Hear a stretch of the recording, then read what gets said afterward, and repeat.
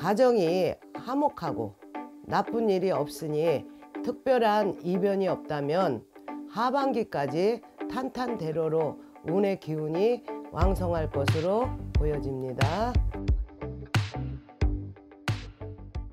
2021년 개띠 신년 운세에 대해서 말씀드리겠습니다.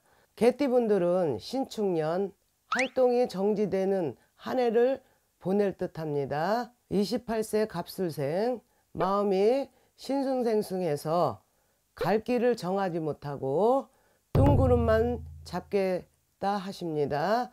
무슨 일이든 앞이 막힌 운이 들어와서 사람 또한 이룰 수가 있겠다고 하십니다. 현재 살고 있는 곳에 이동수가 있으나 이동할 여력이 안 된다면 활동 영역을 넓혀서라도 이동을 해야겠습니다.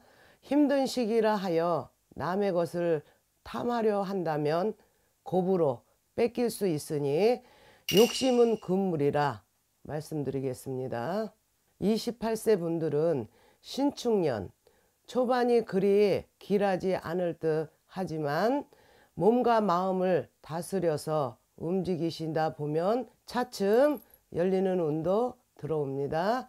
9월에는 재물도 차츰 늘어날 수 있겠다고 하십니다. 단 어떠한 일이든 서두르거나 벌리지 않는 것이 좋겠다고 하십니다. 40세 임술생 우연히 기회로 득을 얻는 한 해가 될 것입니다. 하는 일이 날로 번창하며 애정운, 결혼운이 들어오며 연애나 결혼을 하셔도 무방하실 거라 보입니다. 하지만 좋은 일에는 나쁜 일도 들기 때문에 우려가 되는 한 해입니다. 특별한 이변이 없다면 하반기까지 탄탄대로로 운의 기운이 왕성할 것으로 보여집니다. 52세 경순생 움직이면 얻을 것이고 멈춰 있다 보면 운의 흐름도 멈춘다 하십니다. 기인이 덥고 재물이 따르니 장애물은 찾아볼 수 없겠다 하겠습니다. 64세 무술생 재물은 얻으나 어둠에 비해 나갈 것이 많은 해입니다. 집안에 우환이 생겨 자식에게 해가 되고 질병까지 얻으니 마음마저 찹찹하겠다고 하십니다. 투자를 생각하신다면 적게 투자를 해야 이익이 남는 것 보이고 그렇지 않는다면 주변 사람에게 해를 끼칠 수 있겠습니다. 하반기에 접어들면서 귀인의 도움을 받을 일이 있을 것으로 보이며 그로 인해 큰 이득이 들어온다 하겠습니다.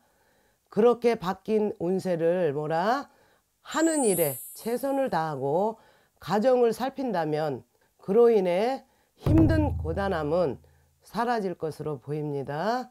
대체적으로 64세 분들은 운이 기복이 심할 것으로 보이니 고통스럽다, 힘겹다, 한탄하지 말고 자신을 사랑하며 가정을 돌보고 힘든 시기일지라도 주변을 돌본다면 그것이 후에 덕으로 득으로 온다고 말씀드리겠습니다.